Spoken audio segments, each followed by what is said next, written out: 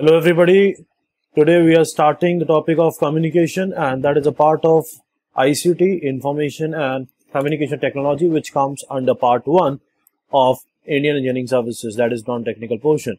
Now, in this communication portion, first of all, what we have to study is mobile communication, and mobile communication deals with, or it can you can say that, that it is related to the part of spectrum which is known as radio spectrum. Now, what exactly the meaning of spectrum is, let's understand that.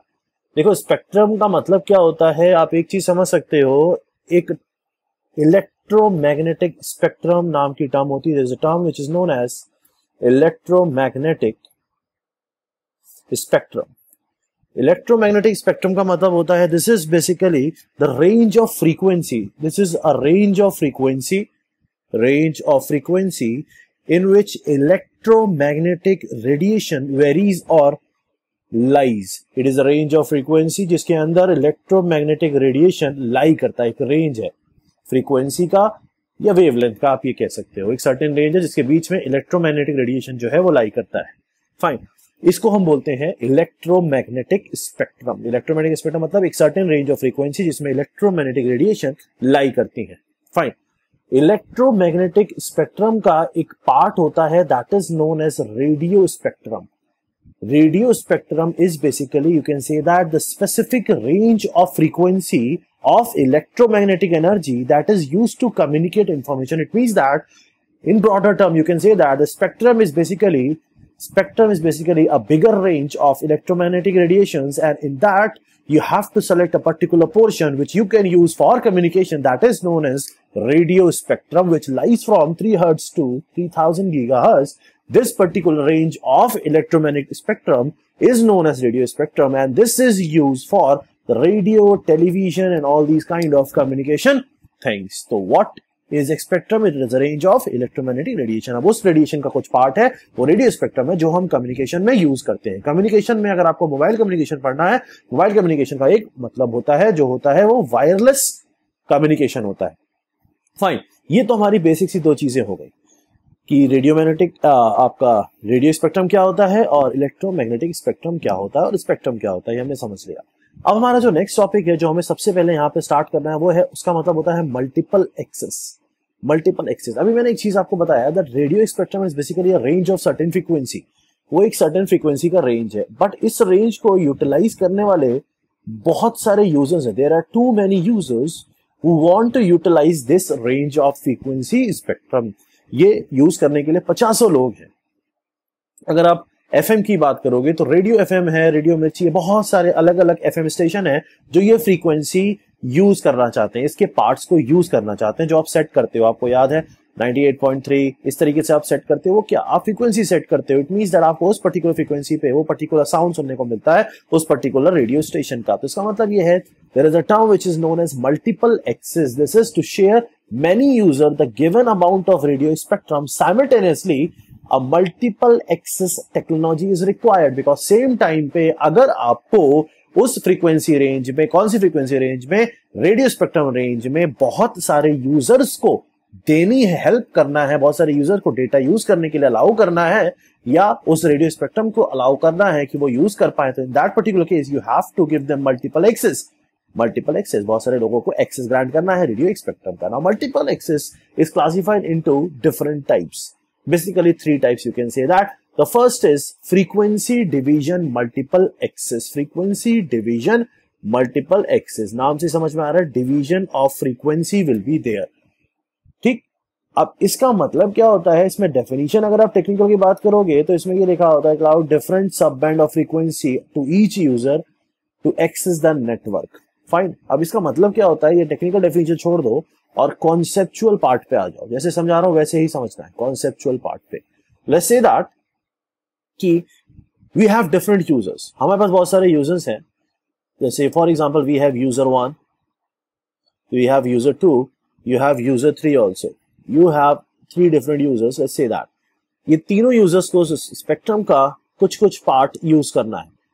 पहला हमारा technique है frequency division multiple access ये technique work करती है frequency को divide करके। ये फिर ये टेक्निक ये कहती है कि if this is a graphical representation graphical representation के through something it will be easier for us to understand the concept यहाँ पे हम रख देते हैं टाइम क्योंकि time is always on X axis time is the most basic quantity which we have तो we always keep that on X axis and here on Y axis what you will put you will put the frequency तो frequency आ गया, यहाँ पे time आ गया, यहाँ पे। ना अब एफ़ में जो है फ्रीक्वेंसी डिवीज़न मल्टीपल एक्सिस ये ये कहता है कि आप जो है, आप डिफरेंट यूज़र्स को डिफरेंट फ्रीक्वेंसी अलॉट करोगे सेम टाइम पे। It means that the time will be same but you will allot different frequency to different users for example user one को मैंने सेम टाइम पे इतना फ्रीक्वेंसी अलॉट कर दिया user to को मैंने सेम टाइम पे इतना फ्रीक्वेंसी अलाउट कर दिया यूज़र थ्री को मैंने सेम टाइम पे इतना फ्रीक्वेंसी अलाउ कर दिया। Time is same for all the users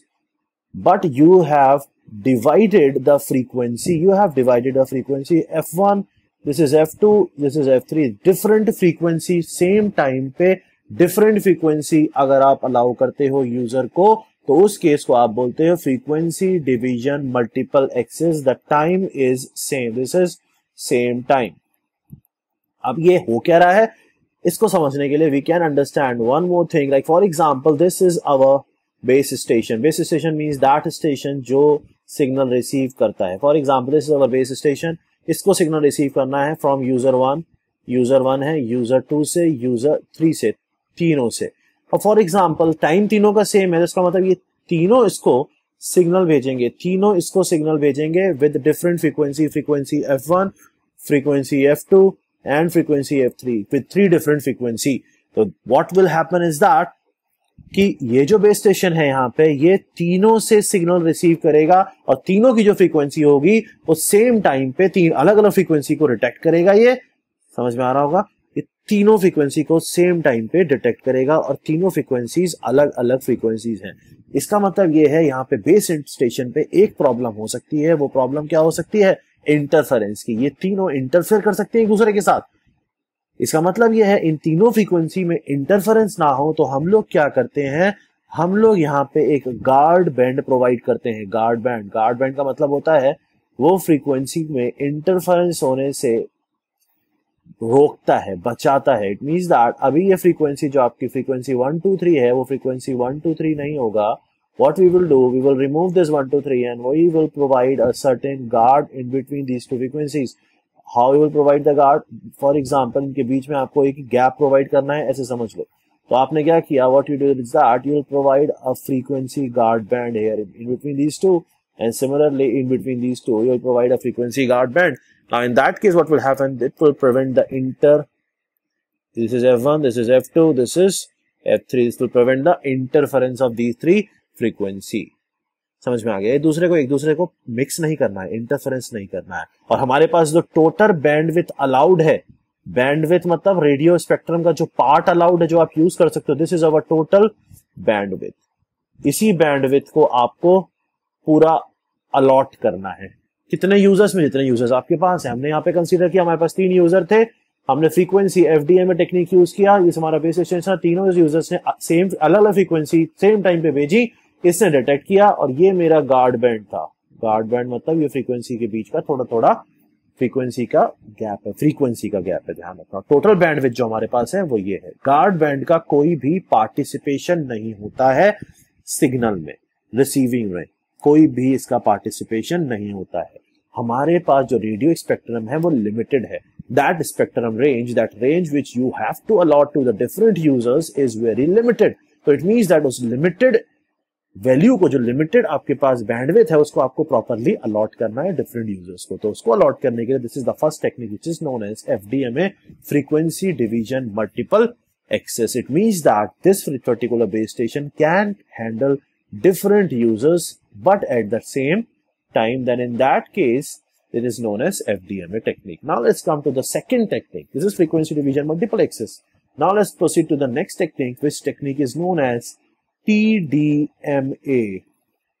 This is time division multiple access. This is time division multiple access. This is time division multiple axis. Now, what is time division multiple axis? Let's understand this also.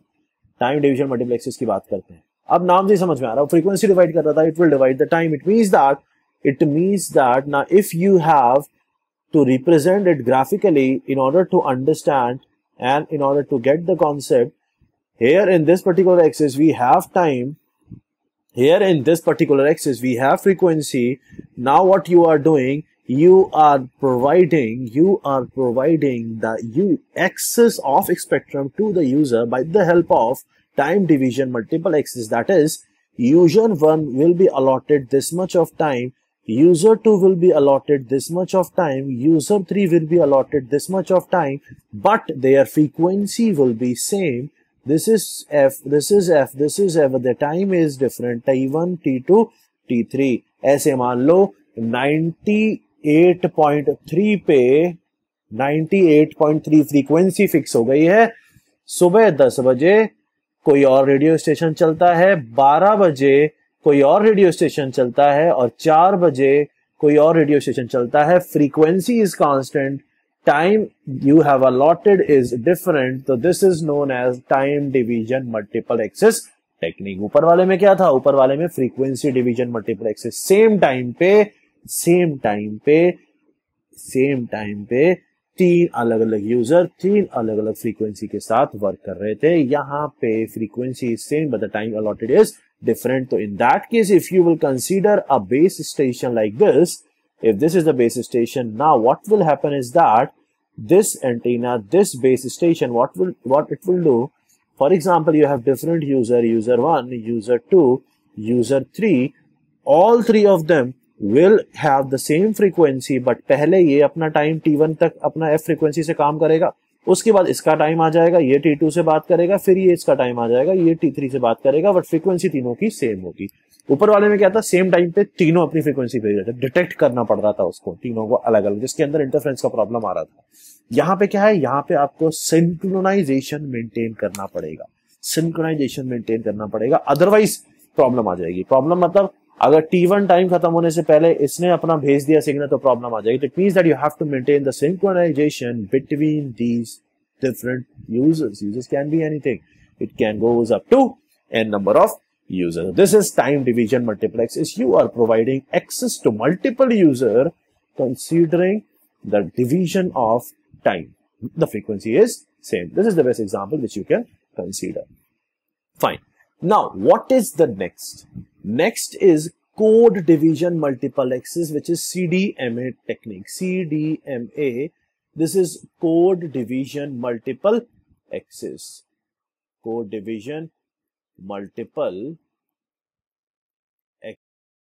Don't forget to subscribe us and also press the bell icon so that you'll get regular updates, motivation